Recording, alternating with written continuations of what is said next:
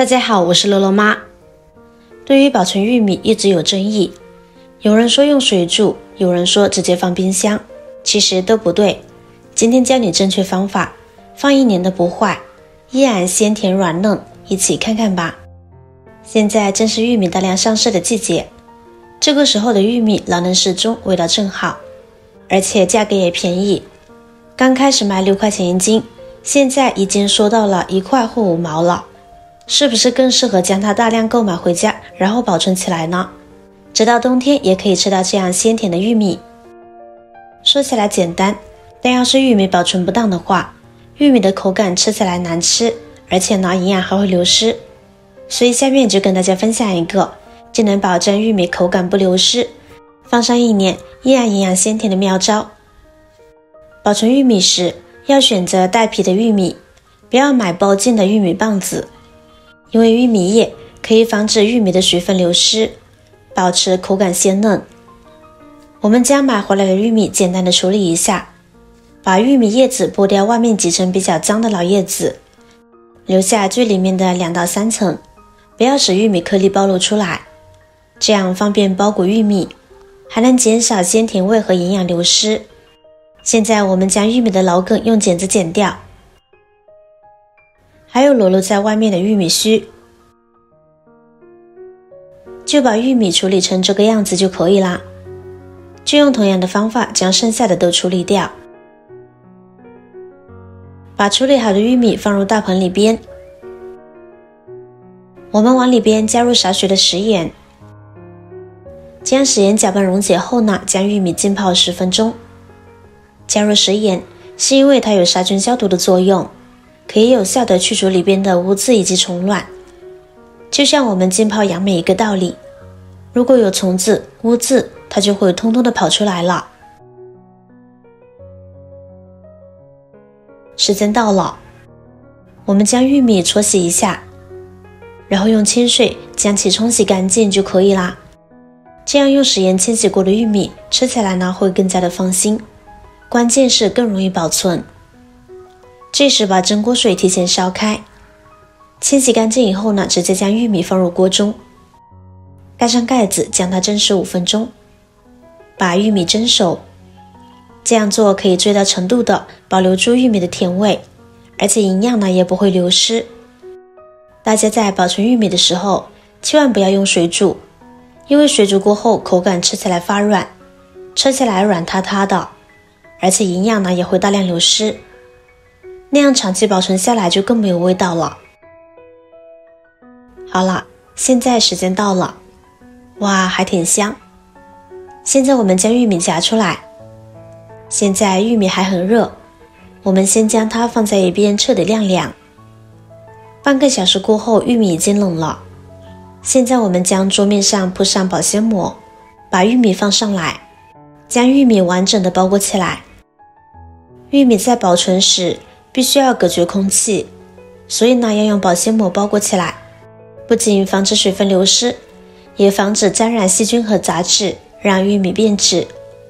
而且一定要冷冻低温保存，不能放在冷藏或者是常温下，那样玉米很快就会发酵变酸，最后霉变，彻底坏掉哦。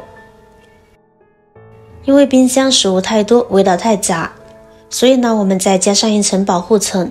将玉米放入保鲜袋中，这样层层隔离起来就不用担心啦。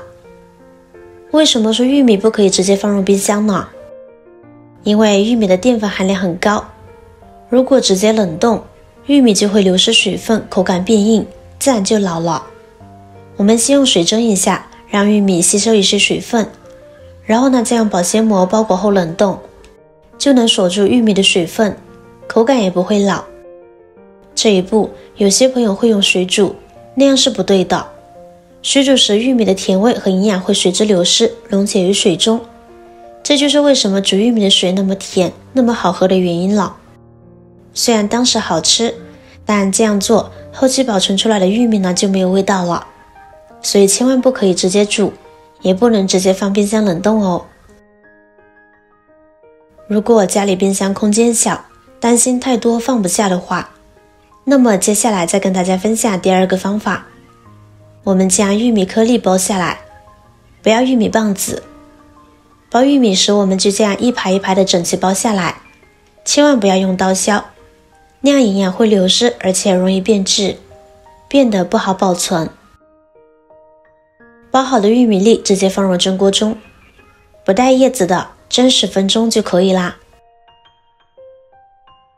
提前蒸制的原理和方法一是一样的，就不再次解释了。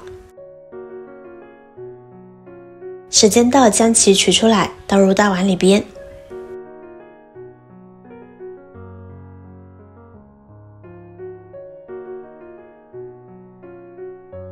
这时往里边加入少许的食用油，用筷子将其搅拌均匀。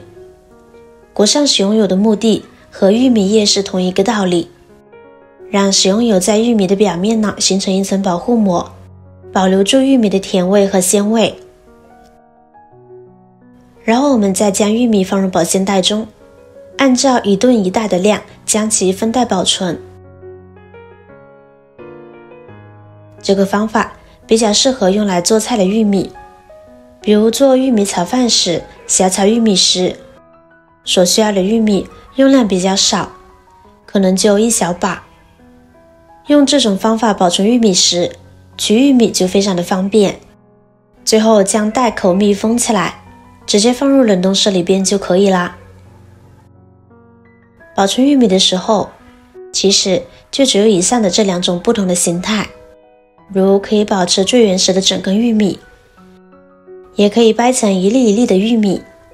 至于选择哪种形态，主要取决于玉米的用途。比如要做菜或者是甜点的话，包成玉米粒保存更合适。如果是想留到冬季还能吃到这样鲜甜的玉米味，那么就选择方法一更为合适。您学会了吗？取出来以后不需要解冻，直接放入锅中煮十分钟，或者是用蒸锅蒸十五分钟，味道和刚买回来时一模一样。如果您还不知道该如何正确的保存玉米的话，不妨试试以上的保存方法吧，或许会给你不一样的惊喜哦。好了，今天的视频内容呢就分享完了。如果我的视频对你有帮助的话，记得点赞、转发、分享哦，希望可以帮助到更多的朋友。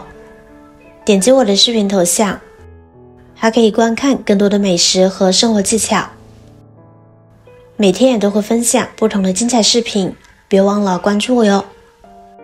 感谢您的支持，我是乐乐妈，我们下个视频见。